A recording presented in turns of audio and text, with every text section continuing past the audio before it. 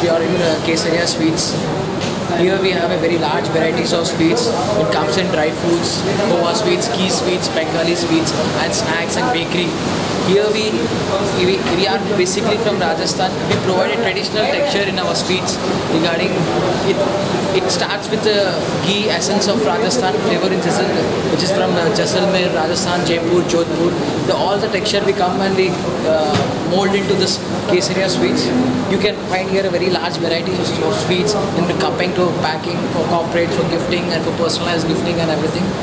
Here we can provide you the best quality of sweets and wide range of sweets in the in twin cities.